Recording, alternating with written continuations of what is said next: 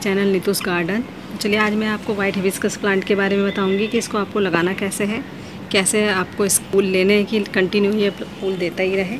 तो वीडियो शुरू करने से पहले आप मेरा चैनल सब्सक्राइब कर लीजिए, जिसमें आपको मैं होम गार्डनिंग करने के बहुत ही आसान टिप्स बताऊँगी, जिसे आप फॉलो करके आप भी अपने प्लांट को इसी तरह हेल्दी रख सकते हैं, बिना किसी झंझट के। तो चलिए, वीडियो शुरू करते हैं। देखिए, ये वाइट हिबिस्कस का प्लांट एक परमानेंट प्लांट है। आसानी से ये आपको मिल जाएगा हंड्रेड रुपीज़ की रेंज से शुरू होकर प्लांट की हेल्थ के हिसाब से प्लांट छोटा है तो हंड्रेड रुपीज़ में मिलेगा, अगर ज़्यादा हेल्दी प्लांट है तो उसकी कॉस्ट ज़्यादा भी हो सकती है। तो ये मैं लेकर आई थी तो मेरा हंड्रेड रुपीज़ का प्लांट था।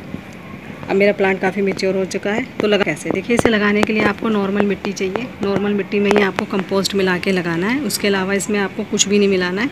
ये आपको बता दिए कि नॉर्मल गार्डन सोइल में ही आसानी से लग जाते हैं। अब गमला कैसा गमला ये, क्योंकि एक मिच्योर प्लांट है परमानेंट प्लांट है तो जितने भी परमानेंट प्लांट होते हैं ना, उन्हें थोड़ा बड़ा ही गमला देना चाहिए। तो कोशिश ये करनी चाहिए कि आप पहली बार में ही इसे 12 इंच के गमले में ही शिफ्ट करें। तो मैंने पहली बार में इसे 12 इंच के गमले में लगाया था, और जैसे जैसे ये मेरा प्लांट बड़ा होगा, मैं इसका गमला चेंज करती रहूँगी, और थोड़ा और बड़े गमले में इसके, मैं इसे शिफ्ट कर दूँगी, ठीक?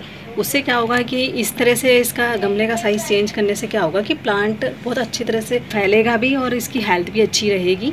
इसके ऐसी ब्रांचेस आपको कैसे बनानी है कि इसमें लगातार इस तरीके से ब्रांचेस बनती रहें, फूल बनते रहें? देखिए, इसका बहुत ही आसान तरीका है। क्या करना है कि जब अभी तो ये फ्लावरिंग का टाइम है, इसका फ्लावरिंग दे रहा है तो क्योंकि परमानेंट प्लांट है, पूरी गर्मी ही है, बहुत ही अच्छी तरीके से फूल देता है। कि अलग अलग ब्रांच बनाने के लिए तो जैसे इस समय ये फूल दे के जहाँ से हट जाते हैं, वहीं से आपको हल्का सा हटाना है, बस। ज़्यादा आपकी आपको जब ये फ्लावरिंग कर, कर कर रहा होता है उस समय डीप इसकी कटिंग नहीं करनी होती हल्की हल्की ब्रांचेस तोड़नी होती हैं तभी अच्छे से फ्लावरिंग कर रहा होता है। अब इसे सनलाइट कैसी चाहिए? देखिए ये एक परमानेंट प्लांट है हमेशा आउटडोर में ही रखना चाहिए। पाँच से छः घंटे की धूप इसे बहुत ज़रूरी है जो इसे चाहिए चाहिए। जितनी ज़्यादा अच्छी धूप मिलेगी उतनी अच्छे से ये फ्लावरिंग करेगा पूरा फूल पीक पे खिलेगा। अगर इसको धूप ही नहीं मिलेगी ढंग से तो फूल इसे पीक पे पूरे फुल साइज़ का होके नहीं खिल पाएगा। तो इसलिए हमेशा ऐसे ऐसी जगह रखें जहाँ धूप इसे अच्छी मात्रा में मिल रही हो।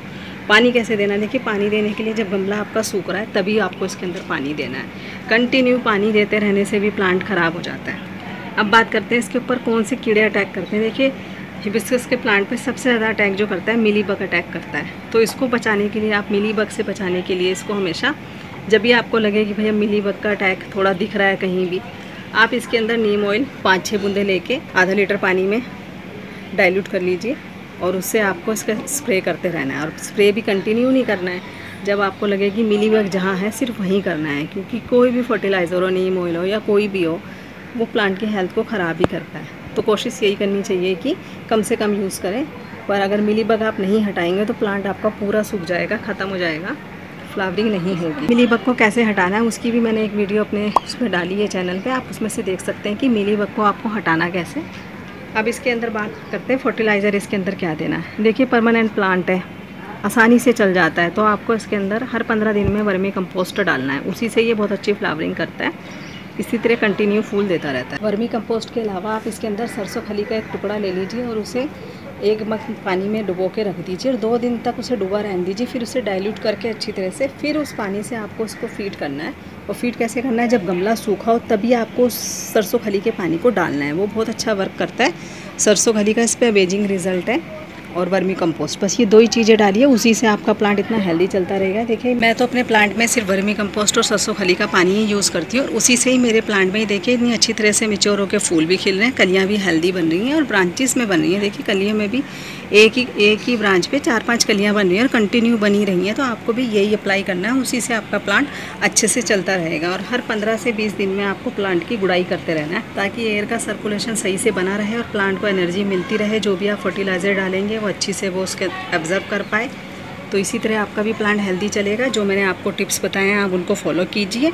इसी तरह पूरे पीक पे ही आपका भी प्लांट फ्लावरिंग करता रहेगा। कंटिन्यू फूल आते रहेंगे और वाइट हिबिस्कस का प्लांट बहुत ही पॉजिटिव एनर्जी वाला प्लांट है। इसे अपने घर में ज़रूर जगह दीजिए। और चैनल को मेरे सब्सक्राइब करना मत भूलिएगा। मिलते हैं नेक्स्ट वीडियो में। Okay bye